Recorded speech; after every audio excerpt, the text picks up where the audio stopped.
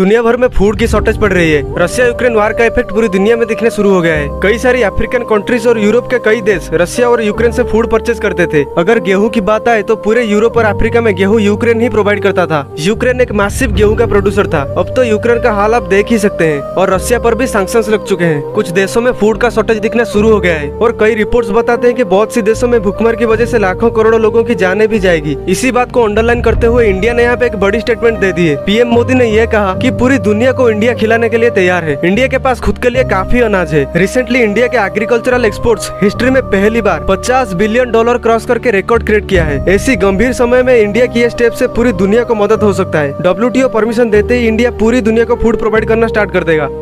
दोस्तों, ऐसे ही वीडियो के लिए चैनल को सब्सक्राइब कर देना।